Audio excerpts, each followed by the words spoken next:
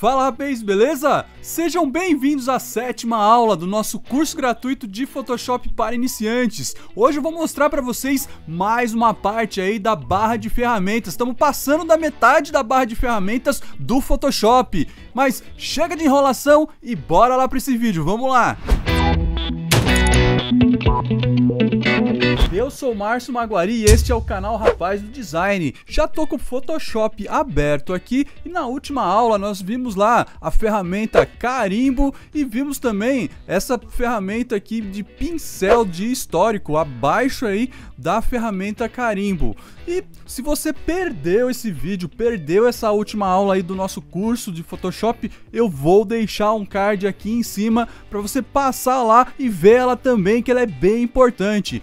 Fique por dentro de todas as dicas que eu tô passando nesse mini curso aqui. Mas vamos lá. Abaixo aí da ferramenta e pincel de histórico, nós temos aqui a ferramenta borracha, a Eraser Tool, Eraser Tool, que é a ferramenta borracha. Então, vamos clicar na primeira opção da variação aqui da ferramenta borracha, que você acessa ela aí pelo teclado com a tecla de atalho E a gente vai pegar ela aqui e a ferramenta borracha ela apaga aqui o, o desenho ou a imagem que você tiver selecionado aqui com o layer selecionado. Vamos selecionar aqui o layer do mate e eu peguei a imagem aqui desse personagem do filme Carros para fazer de exemplo. Como a gente já começou lá, lá desde a primeira, da primeira, segunda aula lá com os personagens do Carros, eu vou continuar por aqui com ele também. Peguei ele aqui e aí vamos apagar esse guincho aqui. Vamos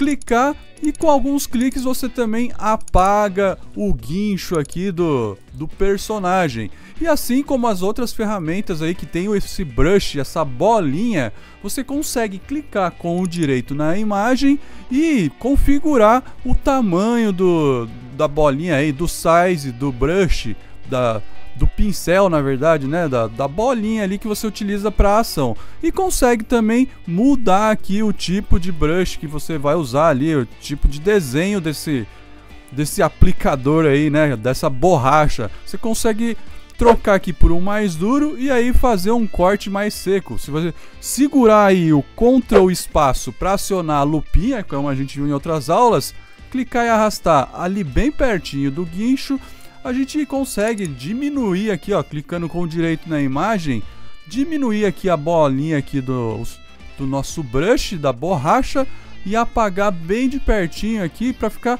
bem certinho o tratamento da imagem com a borracha. Dá o Ctrl 0 para ver aí.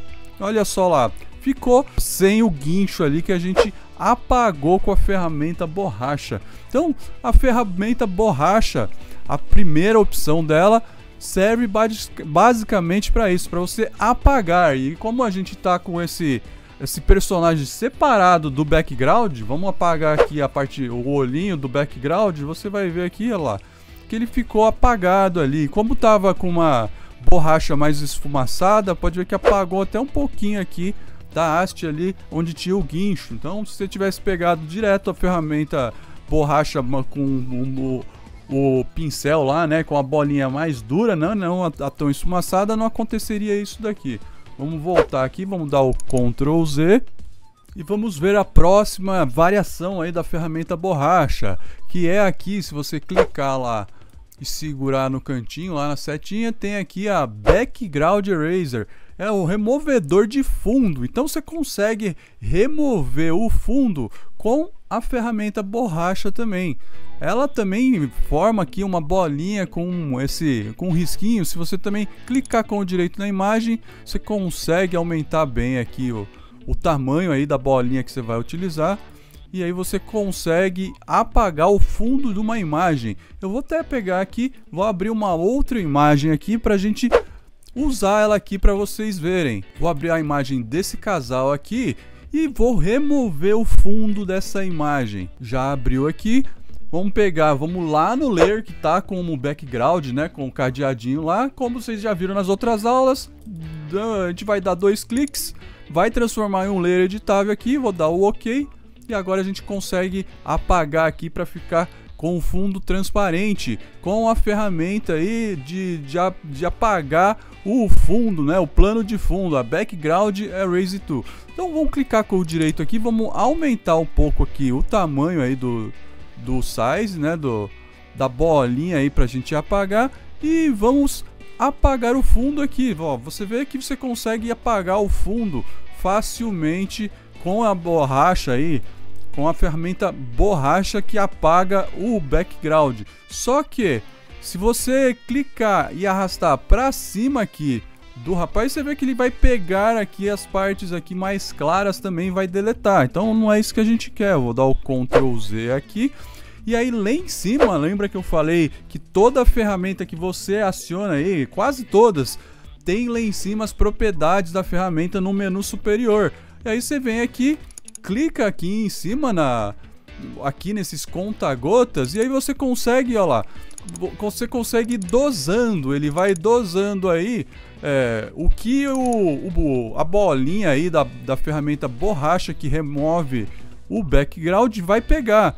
E aí você vai clicando e vai apagando aí o fundo com essa ferramenta borracha aí do Photoshop. Ela é bem legal também para você utilizar aí no seu dia a dia, quando você precisar aí fazer um fundo transparente em uma imagem. Vezes você está fazendo aí alguma imagem e precisa apagar o fundo rapidamente, sem ficar fazendo nenhum patch, nem nada, né? nenhum contorno. E aí você vem com a ferramenta borracha e vai apagando. Então você tem que se lembrar aí que sempre vai lá em cima, vem aqui com esse conta-gotas aqui, que ele vai pegar e vai dosando o que, que vai apagar ou não aqui do da sua imagem aqui para você conseguir apagar o fundo. O do lado esquerdo que tem a bola, esse é o que tem o quadradinho, que tem um quadrado branco e um quadrado preto. O que tem a bolinha aqui, ele já invade um pouco mais da imagem. Então, aí já fica como é que estava antes. Vou dar o Ctrl Z aqui, e aí volta. Então ele apaga um pouco mais. Então é sempre, se você for fazer um contorno assim da imagem, né, que você não quer nada aqui é, fora da imagem, né, que deixar lá só o casal com o fundo transparente, é esse conta-gotas aqui em cima da propriedade da ferramenta que tem esse quadradinho preto e branco. Então, essa é a segunda variação da ferramenta borracha. E a terceira variação aqui da ferramenta borracha é essa daqui, a Magic Erase Tool. É uma mistura aí da ferramenta borracha com a, com a varinha mágica. Então, quando você aciona ela, vou até mostrar lá no, no do Carros, lá no personagem do Carros. Quando você aciona ela, você vai clicar em alguma parte da imagem e ela vai apagar. Olha só, eu cliquei aqui, vou dar o Ctrl Z Vou acionar a lupinha aqui com o Ctrl espaço e vou arrastar aqui perto dos olhos do personagem. Ele tem um fundo branco aqui do olho do personagem. Você vê lá nos layers que está selecionado, tome sempre cuidado para ver qual layer está selecionado para você apagar, tá? Eu quero apagar essa parte branca onde tem o olho do personagem no layer do personagem, então eu vou dar um clique aqui e olha lá, vai apagar aqui onde estava essa parte branca. Vou clicar aqui do lado e ele vai apagando, olha lá, você vai clicando e você consegue ir apagando as partes similares a que você clicou primeiro. E se eu vir aqui no olhinho do background e tirar, você vai ver que ela tá transparente essa parte que a gente apagou. Se você segurar a mãozinha aí com a tecla de atalho espaço e arrastar aí para clicar em uma outra parte, o farol aqui, por exemplo, vou clicar aqui no farol, ele vai apagando, ele vai pegando de parte em parte e, e, e aí você consegue deixar transparente aonde você vai dando aí alguns cliques para apagar essa região aqui onde você está clicando. E ela não tem aqui uma configuração de bolinha, só lá em cima ela tem lá uma parte de tolerância, que daí você aumenta ou diminui aqui a tolerância e ela vai pegando mais, uma área maior, né? Do que você clicou. Ou a de opacidade, que daí se você diminuir a opacidade aqui, ela vai diminuir a intensidade do que ela apagou. Ela vai deixar transparente ali, ó. Baixei para 48, ficou meio transparente. Se eu baixar, por exemplo, para uns 10%, vocês vão ver aqui, lá, que ele vai ficando transparente onde eu vou clicando. Então é uma ferramenta também bem interessante para você utilizar aí conforme o trabalho que você estiver fazendo aí no seu dia a dia com o Photoshop. E o Ctrl Z para voltar a imagem aqui para o estado dela original e vamos ver mais uma ferramenta aqui da barra de ferramentas do nosso Photoshop. Abaixo aqui da ferramenta borracha, nós temos aqui a ferramenta Gradient Tool, que é a ferramenta degradê, que você aciona aí com a tecla de atalho G. Então, pegando a ferramenta degradê, a primeira opção dela aqui, que a gente mais utiliza, você consegue fazer degradês aí para fazer um plano de fundo, um preenchimento. Então, vamos supor que a gente quer mudar aqui a cor desse plano de fundo, fazer um novo degradê aqui. Vou vir aqui nos layers, vou até apagar o layer do olhinho ali. E aí, se você vir aqui com a ferramenta degradê, clicar e arrastar, ele vai fazer um degradê para você. E ali em cima você consegue aqui mudar aqui o tipo de degradê, a cor.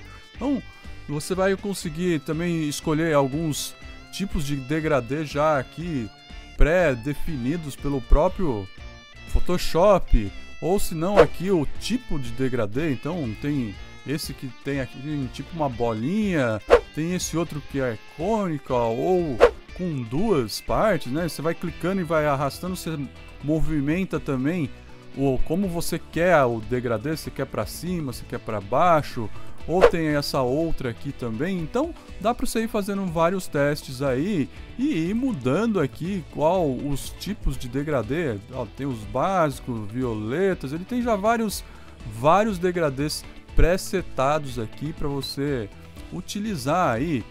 E aí depois que você define aí um, um degradê que você quer utilizar, vamos por aqui esse outro aqui de baixo para cima aqui para ele ficar opa Vamos clicar aqui e deixar a parte de baixo escura e a de cima mais clara ali para a gente utilizar aqui. Aí você vai ver que lá nos layers ele vai aplicar aqui um, mais um layer ali, que é o layer do degradê. Que você consegue entrar dentro dele aqui e mudar as configurações aqui do degradê que você aplicou, o, o ângulo, várias coisas aqui. Se você clicar aqui também, você consegue mudar também lá ó, as cores que você escolheu, pode vir aqui, entrar na pastinha e mudar para um outro degradê aqui. E aí você vai lá, dá o OK e ele vai aplicar lá para você. Então, vou acionar aqui o olhinho do carrinho de novo. Então o mate ficou aí com esse degradê colorido aí que a gente utilizou.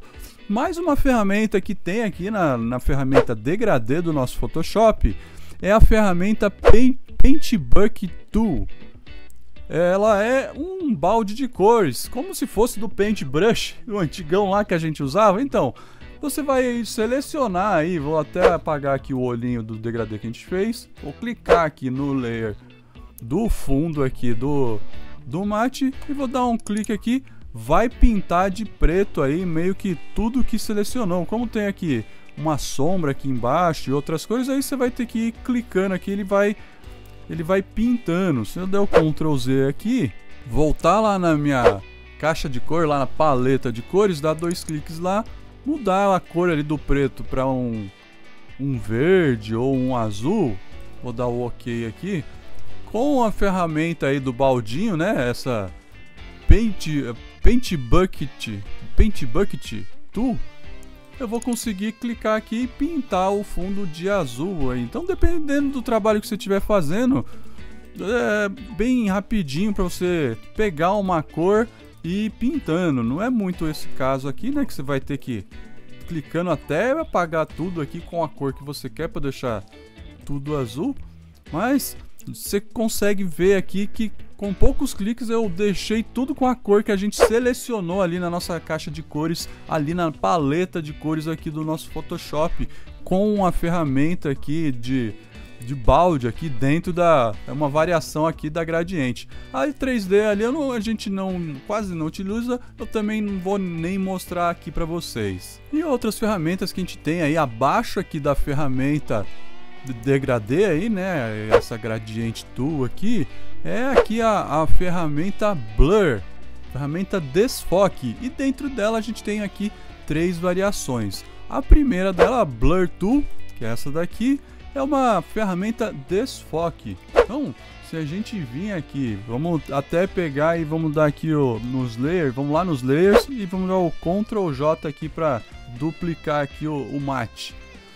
A ferramenta Blur Tool, a gente clica com direito na imagem, ela também tem uma janelinha aqui para aumentar ou diminuir o brush aqui ou deixar mais duro ou mais mole. Tem ali também os pincéis ali para você mudar, né, o, o tipo de carimbo que você quer.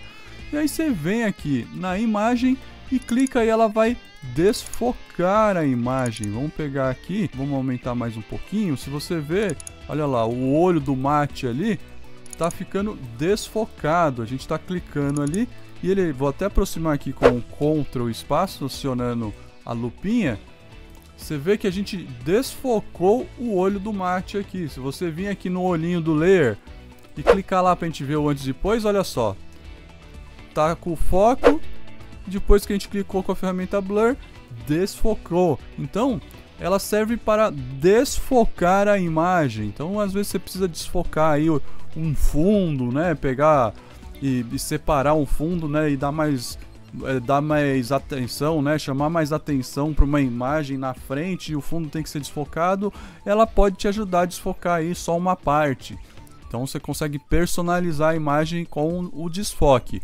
Dentro da ferramenta Blur, abaixo aqui dessa principal da Blur Tool tem a Sharpen Tool. A Sharpen Tool justamente é o contrário. Vamos ver se ela vai conseguir aqui reverter aqui o que a gente fez agora aqui com o olho. Então se for clicando aqui em cima do olho, ela vai tentar é, trazer o máximo de nitidez para a imagem que você tiver aí tentando é, tratar.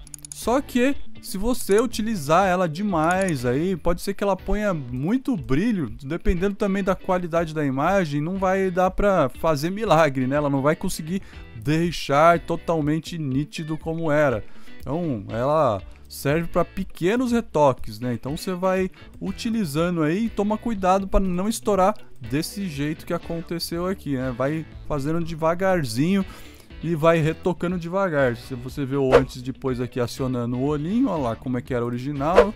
E aqui como ficou depois que a gente usou aí a Blur e a, e a ferramenta aí, a Sharpen Tool por cima, né? Para tentar trazer a nitidez de volta. Até trouxe um pouco, mas estourou um pouco a parte branca aqui, né? Então para essa parte aqui acontece isso aí. E abaixo da ferramenta nitidez tem a ferramenta Smooth Tool, que é borrão. Então, ela faz justamente o que ela fala, ela faz um borrão. Se você clicar em cima da imagem e, e arrastar, ela vai borrando a imagem aí. Você vai clicando e vai arrastando, ela faz um borrão mesmo. Você vê aqui, vou dar o Ctrl 0. Depois que a gente aplicou ela lá, ela deformou todo o mate ali, coitado. Se você for no olhinho lá do layer e clicar o antes e depois, ó, o antes ou depois que você utilizou a ferramenta borrar ali. Então, Dentro da ferramenta Blur, a gente tem aí essas três opções para você utilizar aí no seu dia a dia. E se você estiver gostando dessas dicas aí de Photoshop, pessoal, já deixa aquele like para mim aí. Se você estiver começando no design gráfico, não deixa de se inscrever aqui embaixo no canal, ativar aí o sininho das notificações também. Mas vamos lá. Outra, outra ferramenta aqui, antes de acionar outra ferramenta, vamos deletar aqui esse layer que a gente borrou tudo o mate ali, coitado. Vamos deixar ali o, o outro layer lá. Vamos dar o Ctrl J novamente para duplicar lá para fazer aqui um outro efeito aqui com uma outra ferramenta aqui. Abaixo da ferramenta Blur, nós temos aqui a ferramenta Burn Tool, de subexposição ou sob ou superexposição, não me lembro bem em português. É a ferramenta Blur. Com a ferramenta Blur, você tem aqui a Dodge Tool. Com a ferramenta Dodge Tool, você pode vir aqui na, na imagem onde tem os pontos escuros que você quer clarear ele, por exemplo aqui na, perto da parte de trás aqui da carroceria, você consegue ir lá e clarear aqui o, a lataria do, do carro aqui, por exemplo. Olha só que legal. Essa lateral dele aqui que é bem escura, eu quero que apareça mais um pouco aqui. Você vem lá e clareia ela. Olha lá a gente acionando e desacionando no olhinho lá do layer que a gente duplicou. Dá pra ver o antes e depois. Olha só como é que fica. Então, você clareia. Olha, o original ele é escuro. E ele aqui com a Dodge Tool a gente clareou aqui toda essa lateral. Então a gente consegue com a Dodge Tool clarear aqui ó, a parte da imagem que a gente quiser.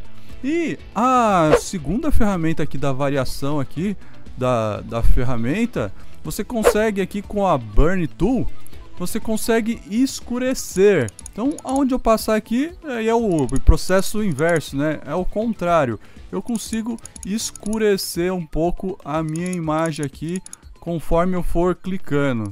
Então, com a Burn Tool, você vê que a gente faz o processo inverso aí. A gente vai clicando aqui e ela vai escurecendo. A Dodge Tool clareia, né? Vamos pegar ela lá de volta para vocês verem. A Dodge Tool, você vai lá e clareia onde você for clicando. Aumentar um pouquinho aqui o brush. A gente clareia aonde a gente for aqui clicando e com a, a ferramenta Burn, né, a gente vai escurecendo aonde a gente vai clicando. Então, uma é o inverso da outra. E uma terceira ferramenta que tem aqui dentro das variações aí da, da ferramenta Burn é a ferramenta Esponja, que é a Sponge Tool. A Sponge Tool ela tira a saturação então, onde tem muita saturação, aqui no olho do mate, por exemplo, se a gente for clicando, você vai ver que, vamos apertar o Ctrl espaço para aproximar aqui, aqui no olho. A gente vai clicando aqui no olho do mate aqui, ele vai tirando um pouco da cor. Então, a ferramenta esponja, ela justamente ela tipo limpa, né, a, a imagem, né, a cor ela vai diminuindo a intensidade da cor. Se a gente vir aqui com o olhinho, você vê que o olho do mate era bem verdão. Depois que a gente clicou aqui com a ferramenta esponja, você vê que ficou um verde mais apagado e foi ficando mais escura a parte da imagem onde a gente foi aplicando. Então, para tratamento de imagem, são bem interessantes essas ferramentas que a gente utilizou aqui nessa imagem do personagem.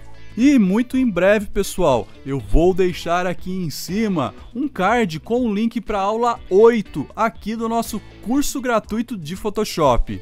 E aí, pessoal, ficou com alguma dúvida? Deixa aqui embaixo para mim que eu vou ter o enorme prazer em responder todos vocês. E não esquece, pega aí o link desse vídeo e indica para aquele amigo ou para aquela amiga que também quer ficar um expert no Photoshop. E aquela velha dica de sempre, eu vou deixar aqui do lado a playlist com todos os vídeos, a playlist completa do nosso curso gratuito de Photoshop para iniciantes. Valeu!